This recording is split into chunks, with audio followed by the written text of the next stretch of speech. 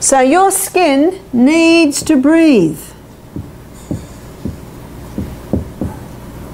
There's the very sad story of the little girl who was painted gold to be an angel in a play and she died. Your skin breathes. So be very careful what you put on it. Because it not only breathes, but it also takes in the things you put on it. And as I mentioned earlier, that's why you've got to be careful what you wash your clothes in. Because there are remnants of washing detergent, no matter how well you rinse it, still on your clothes. So be careful what you're putting on your skin. If you discover that your beautifully smelling moisturizer is full of nasties,